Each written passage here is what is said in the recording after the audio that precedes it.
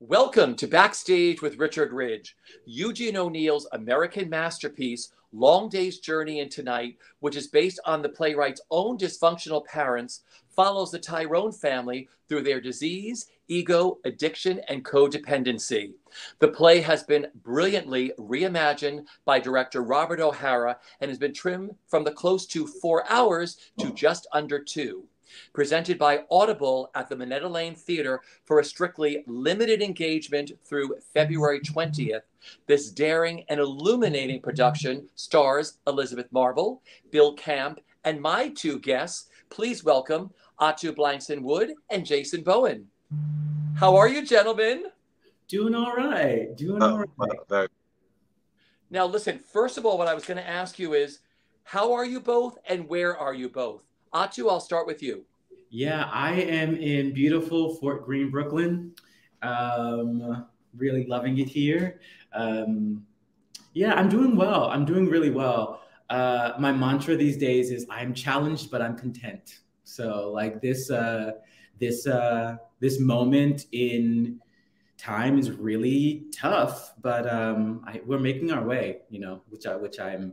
I, it's really a testament to like the resilience everyone is you know showing at this time so yeah i love your mantra or your mantra yeah. that's really fabulous yeah jason for you how are you and where are you I'm well. I'm coming from the the beautiful side of Jersey City, um, and uh, yeah, I'm I'm I'm I'm doing well, man. doing well. Just happy to be working on the show. You know, it's it's fulfilling, so it feeds me spiritually. And I'm just out here, you know, pursuing my passion while protecting my peace. Mm. See, I love that too. Have either of you been able to put the past two years or so into some kind of perspective? Hmm. Um, I would I would say just about now I'm starting to be able to sort of have some distance and perspective on, on these last two years, and uh, kind of returning to like a, a stasis and feeling like okay, yeah, um, I, I can see a way forward. I can see what the last two years has taught yeah, it, it's just starting to happen. I would say around now. Yeah, Jason, for you. Yeah, I'd say that um, I, I had, uh, as much as all of us did, I had nothing but time during the pandemic to sit and gain perspective. And I, I feel like I was actually fortunate enough to be having perspective while in the midst of it. So I understood that this was a time that will hopefully never see again. But as challenging as it was, that mean it presented opportunities that we'll never have again. And so I really just wanted to like seize the day and and take as much take advantage of those opportunities as much as possible. So like just pursuing different things, teaching myself different stuff, and yeah. So yeah, I, I definitely I've I've gotten to that point for sure. Beautiful. Well, I congratulations on Long Day's Journey into tonight. It is sensational. What has made being part of this production so special for each of you? Ato, I'll start with you. I would say um, the permission to really uh, to risk and fail has been kind of like special about this particular production. You know, um, you know, you hear a lot about you know like you know just fail fail 99 times get up 100 and like that is that is um, something that has been really theoretical for me. I tend to be kind of like a perfectionist and want to like get it right. And that was just not possible in this room. We were doing something totally new with this play so everyone involved was risking something you know? And so there was a lot of space for failure as well a lot of permission for failure as well and so I, I think that's what's was like really special about this production is we we really got to take full ownership of the risks we took, you know, uh, and and what we learned along the way. Yeah. Jason, for you. Yeah, I, I, definitely I would echo Ato on that. That it was there was a certain liberty that we were afforded. That uh, even though you know um, this was my first experience with the play, and you know reading it or acting in it or anything, and and knowing knowing that I still knew that what we were doing was something that's never been done before, and that we had been granted certain permissions that haven't haven't been allowed before. And so just even in that inherently, we were just embarking on a process that that was individual, it was original, and it was also really organic. All of us got to really got to really have our say so, you know, and really have some a lot of input. Our director Robert was really gracious with that and and, and just allowed us to create. And um, yeah, it was it's just it was a really beautiful experience for sure. Well, let's talk about Robert O'Hara. He is one of the most sought after directors. I mean, he has done a beautiful job with reimagining this production. I mean, it's not even trimmed. I mean, he actually, uh, you know, has reinvented this incredible play as only he could do. I mean, why is he such a sought after director and what's it like working with him? Ato, I'll start with you because you worked with him on Slave Play. Yeah. Yeah, you know, it's it's it's been interesting to go through that process of slave play with Robert, which was, you know, we were downtown in 2018. So I've had three years with Robert to like four, almost four now, to grow with Robert, and then to and now uh, be working on this project has been. It's really given me like a kind of a, a, a fuller picture of Robert as a director, but also as a writer. You know, I knew Robert first. I, I came across Robert's work first as a writer um, and um, and the and you're right. He has not only uh, uh, reimagined this. He's kind of like it's it's a new it's a new play almost, you know. And I in the room even as we were all you know giving our input around like what we believe maybe the cut should look like, what moments need to stay, what need to go. Something that dawned on me was like Robert was really coming at this from the perspective of a writer you know, and that sensibility really uh, informed the production. Um, and I think that, all, that something Robert also does is Robert's not going to hold your hand at all. And that has been consistent with Slave Play and this production, which again um, allows for our uh, ownership.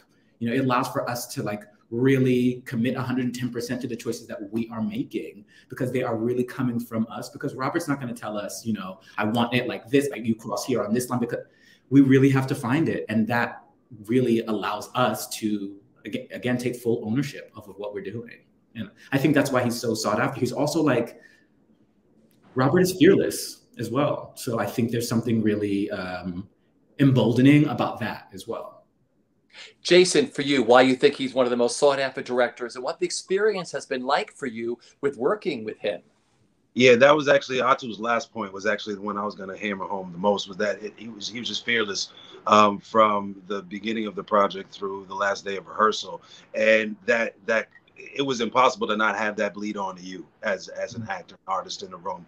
Whether the stage management team, the director, directorial team, or the actors, like all of us knew that all right, we we're here, we're creating our work, and that's all we're going to worry about is creating our work. And that that sentiment came down from Robert, you know, and he uh, he he gave us that liberty, and it was it was just really freeing to be able to come into the room and know that every day we're just going to be able to play and we're going to find new stuff and we're not going to have to worry about adhering to any certain standards that might have been set before with this particular production because we know we're doing something very different than anything anybody's ever done read or seen so we knew that when the audience was going to walk in people were going to have their own expectations but we weren't trying to live up to that because mm-hmm. we were doing something different and so it was more about people catching up to what we were doing opposed to trying mm-hmm. to fit certain molds and that, that was it was really free really free for sure See, I love that because, you know, Ato, you had said fearless, and Robert's fearless, which also makes you freeing as actors, I would think. Like, he's fearless, we're going to be fearless. He's given us the permission for mm-hmm. all of us to be fearless and discover this piece together. Mm-hmm. Yeah. Definitely. Yeah. So let's talk about these roles. Like Jason, you had never read it before. You said, right? This was not a play you knew very well. No. Ato, did you know? Did you know this play very well? Yeah, I, I, I knew this play um not very well but it sort of like lived in the it, it, just in the periphery a little bit. It just yeah. it wasn't something i thought i would ever get the opportunity to do. So i, I just never really um like latched on. But i but i i knew of it you know. You don't go yeah i spent like i spent seven years in conservatory total. And so like you don't come across you, you don't go through that without coming across this play at some point um, but um, yeah it just never it always seemed like that piece over there yeah. you know that other people were going to do you know but um yeah but coming coming to it in this way has made me really fall in love with the play and O'Neill in a way that I I didn't think I I would. Um, I'm now I like want to delve a little bit you know more deeply into his work and and and uh, and find out a little bit more about about this this amazing poet first of all and playwright. I think that's I what I discovered about O'Neill through this process was his love of poetry. Um, and that's something that um, Edmund and and uh, Jamie are both aligned on, and something that I uh, am very interested in. I, I, love poetry. I write poetry. I, I so that um, that sort of grabbed me um, uh, uh, about his writing. Yeah. See, I'd love for you to each talk about these roles that you play, mm. Edmund and Jamie, and how they be been reimagined for 2022. I mean, it's so different. Yeah. Ato, start with your start with your uh, Edmund. I mean, Edmund. You know, Edmund is kind of the. I had a friend describe him as like the sponge that is sopping up all of the family's like like uh, mess, essentially. Um, and he's at the he's at the. He, it feels like toward uh, in, in, act four it sort of feels like he is just at the center of this like whirlwind of people sort of like you know uh, uh, uh coming in and, and, and spilling their guts to him you know um, and of course he is because essentially edmund is o'neill right so um, edmund yeah he has the writer's voice in a way that um, I don't think the other characters can. Um, so I, I, I think that's kind of incredible. And I was really thinking about who he might be, who like a poetic soul might be today, and it just like so in in in my in in rehearsal and in, in, in thinking about playing the role, I really thought about like what an art like an artistic soul today might be and how he might exist inside of this family. So that's sort of my my tack on him. Um, but yeah. And Jason, for you, for Jamie, how you see him? Um, I see him as uh, as they all are damaged. Um, but above all, I see him as really hurt. You know, he's he's a really hurt kid, essentially. Um, because within us all, like there's still that child that we were, and you know, we just grow off of that. But um, there, has been a certain, especially the the way where we've set it up, whereas it's set in quarantine, and so you're you're trapped in this place with your parents and your brother in a way that you would not normally be. And so I, I feel like his he kind of devolves back into that adolescent that he was. That might have been. I saw. I see him as somebody that was probably really rebellious. Um, as as a result of the trauma that he had experienced dealing with his mother, you know, a drug addict, and his father was an alcoholic, and just coming up in a household like that, and also having been there prior to that standard being set, having seen his mother as a woman independent of drugs, and seeing her, uh, you know, kind of digress into into um, an addict. Um, so he carries that pain around, and um, yeah, I see him as somebody who's just really hurt and just trying to manage that pain as as well as he can. And yeah, and then you know the the straw breaks the camel's back when when mom goes down. You know. Yeah. And Ato, I love that you get you wear a mask, which I think is fascinating. Yeah. Yeah, you know that that was very important to Robert around yeah. this production. I think that image, right? We've all, um, I mean, I don't know. I, I was going to say that we've all become maybe a little bit desensitized to the, the mask wearing, but like I know that actually I, I haven't. I still have these moments where I look around and I'm like, this is crazy. We are all in, this is crazy, you know? Um, it's such a strong image to bring the production into now, you know? And um, yeah, it just uh, there is also something about um, what feels like uh, almost a silencing as well of, of of Edmund inside of this family. So yeah, yeah, it, it, it seemed it seemed to make a lot of uh, sense for what we were saying you know. I want to talk about this cast, the four of you together. I mean, talk about sharing the stage with yourselves, and then, of course, the wonderful Elizabeth Marvel and Bill Camp as your parents. I mean, the four of you together are electrifying. What is it like first being in the rehearsal room with them and now sharing the stage with them? Jason, I'll start with you. Well, first off, thank you for that. Um, it, it, definitely means a lot. Um, walking into, I mean, it, walking into the room that very first day, it, it was I don't know. It was it was kind of incredible just how seamless it was in terms of us just finding our natural dynamic as individuals, as artists, but then also as these characters. Like from the first read through, I personally could tell like, oh yeah, we're gonna be doing something serious here. Like this is this is something that's gonna be impactful. And wherever we go from here, like I feel like we could have done the reading and and it had been something worthwhile to see. And so to know that we had an additional like five weeks of just rehearsal and just grinding out and and really finding those moments together. I was really excited. Um, and then yeah, working with Bill and Beth, it's, it's been it's been amazing. You know, they've they've just really just come into the room as actors, you know, and been really gracious and been open and and you know just yeah. To, to me, it's just Bill and Beth. So it's just like, but but like on top of them just being regular people, like they're incredible artists. And so above all, it's just really um, once again, I keep coming back to this word, but really freeing as an artist to know that you're coming into a room where you can trust your partners, where you know people are going to be coming with ideas, and you're gonna you're gonna be able to bounce off each other and be able to play in in a real organic way that obviously created something pretty special. So yeah, it was it was beautiful. Ato, for you. Yeah, I mean, I had done first. I, I had done a reading with Jason. I guess when was that? um, over Zoom. Uh, when was that last? Or the summer of 20. The summer, summer, summer of 2021, maybe, right? Yeah. Yeah, I think it was last. And we didn't get a chance to really interact very much until um, un- until his audition, and then we got into the rehearsal room. So I became like really excited well, I was really excited by him in the reading, and I was like, that dude really knows what he's doing. Um, and so to walk into the room and then have the opportunity to play this closely with him was like something I was already very excited about.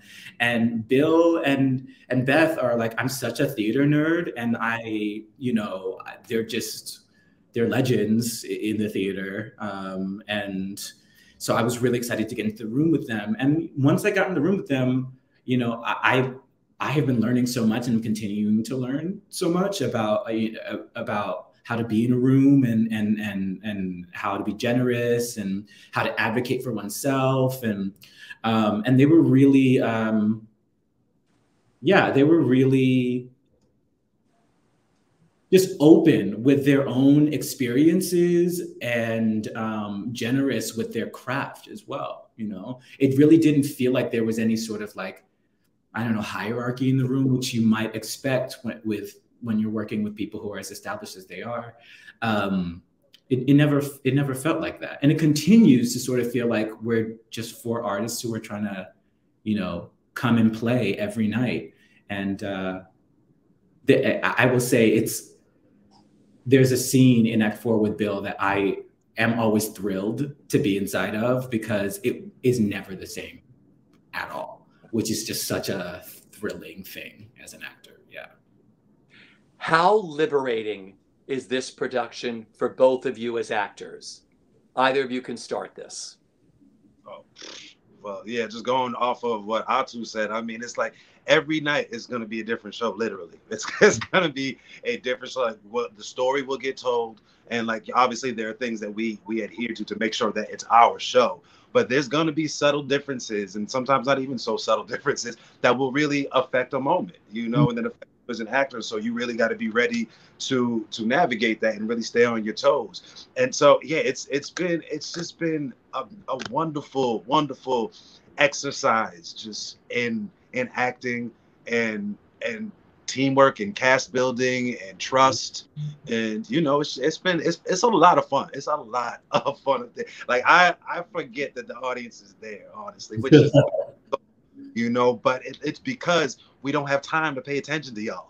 Like we don't like we really got to be up here making that eye contact and paying like what's going on here? Are you are you gonna sit down today? You're not gonna sit down today. You're gonna be angry today or not? Like am i more angry today? You know so we really have to really have to be fully engaged with one one another 1000 percent of the time. And it's a lot of fun a lot of fun.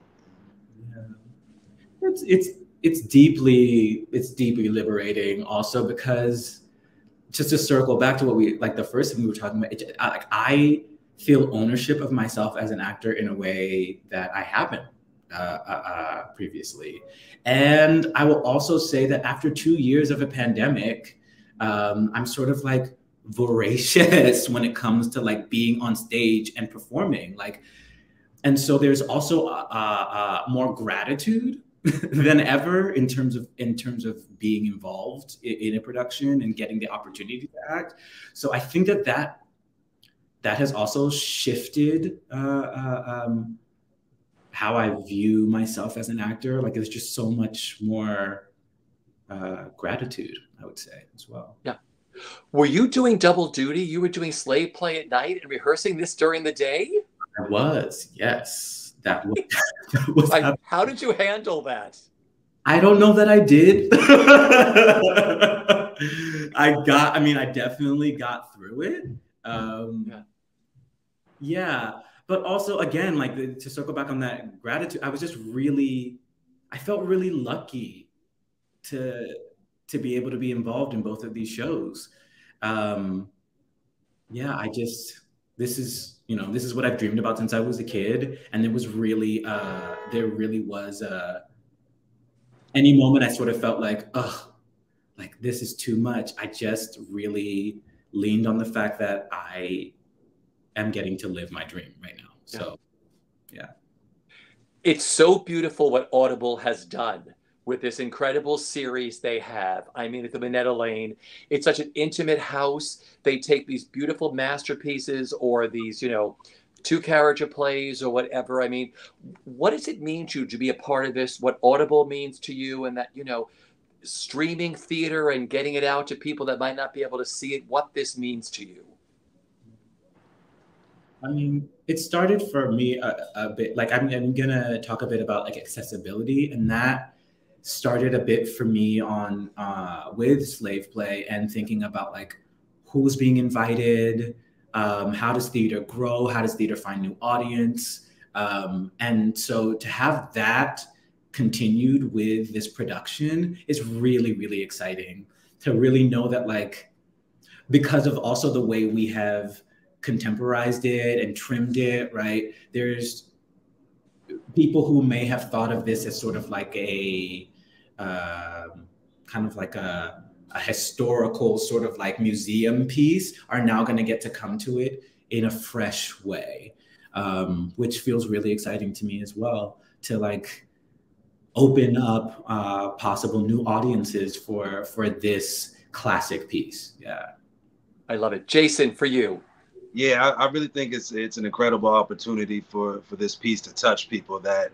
would not no, normally have access to it or even think about it. To be honest with you, I think about folks that don't have the opportunity to come to Minetta Lane and, and see the show, or who or who kids who might not have an arts program in their in their high school and get introduced to this play early in life or or whenever, you know, and might just stumble onto the title I'm like scrolling through Audible or something, and then all of a sudden from there they now recognize, oh, this is an incredible piece of work. Let me let me dig deeper. Let me go down this particular rabbit hole, opposed to just scrolling on YouTube or IG all day or something. You know what I mean? So I, I, think it's gonna it's gonna open a lot of doors for for people in, in in terms of entering into this world of theater, and then also the way that we have staged this, the way that we have cut it, the way that our cast has been assembled, it's it's it's re- revolutionized the piece, if you ask me.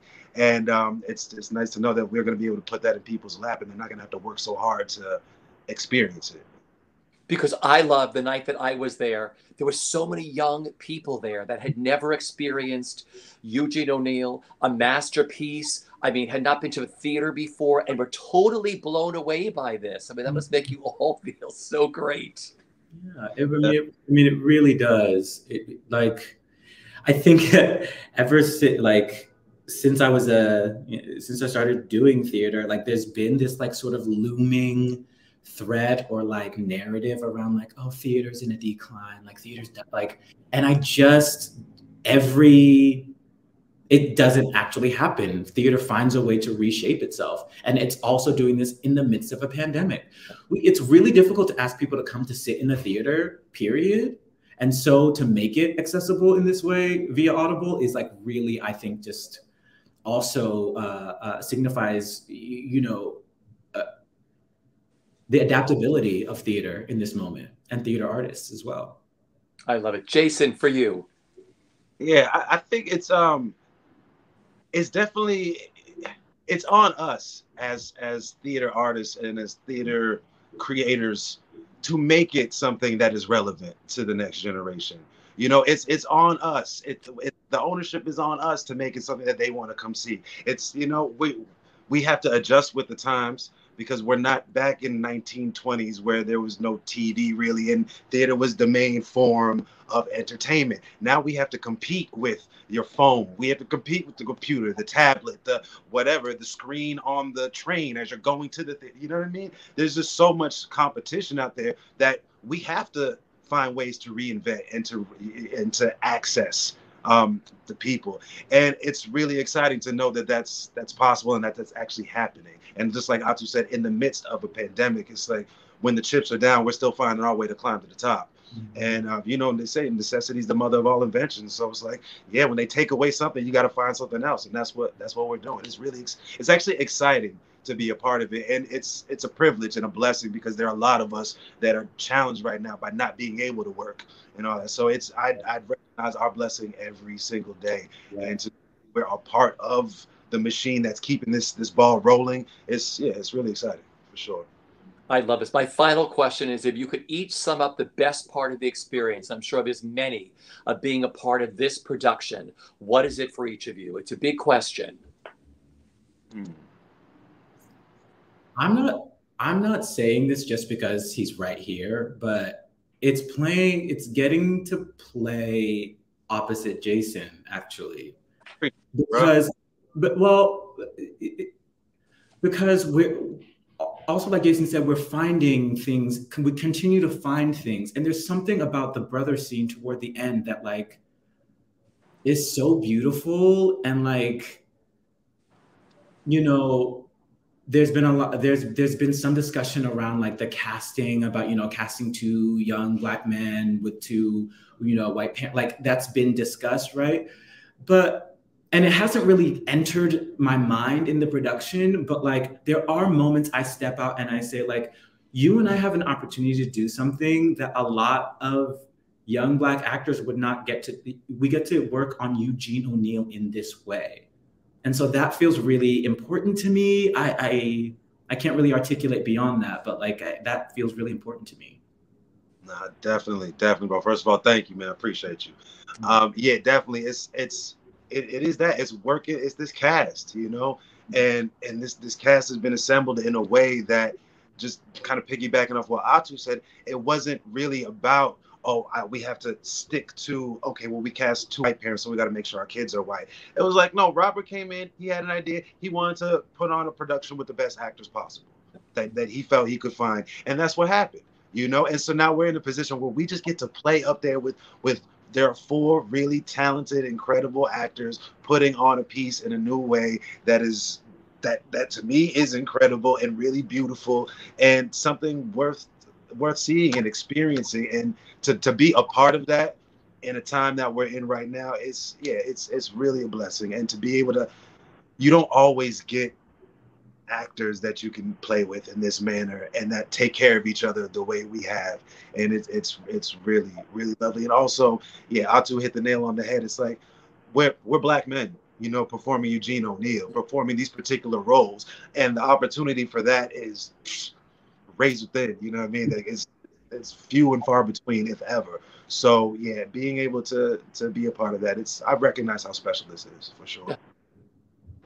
Like I said, it is a brilliant production. I have seen about 12 or 14 major productions of this that I've loved all of them. And this is right up there with like the top five, the top four, and you don't miss anything. I mean, he's, you know, Robert O'Hara has chopped out almost two hours, you know, has reimagined and reinvented this. You miss nothing because the play was always so beautifully written.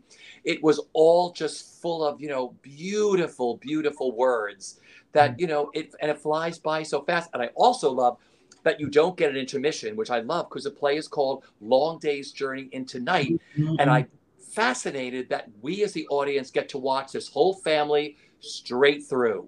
Mm-hmm. And it must be great for you to play that straight through without any breaks. Yeah. And like you said, like this play is a masterpiece, Yeah. right? And I think any it, it has earned the title of being a masterpiece because at its core, it's like deeply human and like the language, yes, is gorgeous, but it's an embell like it embellishes upon the fact that it is at its core deeply human. So even when you whittle it down, that humanity is still there, you know. So I think that that's what's the beautiful thing about this production too. Well, like I said, we are out of time, gentlemen. But once again, Eugene O'Neill's masterpiece, Long Day's Journey into Night, is being presented by Audible at the Minetta Lane Theater for a strictly limited engagement through February 20th, starring Elizabeth Marvel, Bill Camp, and my two guests, Ato Blankson Wood and Jason Bowen, and of course, directed and reimagined and reinvented by Robert O'Hara. Gentlemen, thank you for dropping by today. Thank you. Yes. Out beyond the harbor where the road runs along the beach, I even lost the feeling of being on land. It was like walking on the bottom of the sea, as if I had drowned long ago. As if I was a ghost belonging to the fog, and the fog was the ghost of the sea. You mustn't worry so much about Edmund. He'll be all right. Of course, he'll be all right. What could the finest specialist in America do for Edmund after he's deliberately ruined his health? I know all about Dr. Hardy. So you're blaming me? That's what you're driving at? He reminded you. It is a special kind of medicine. I have to take it because there is no other that can stop the pain.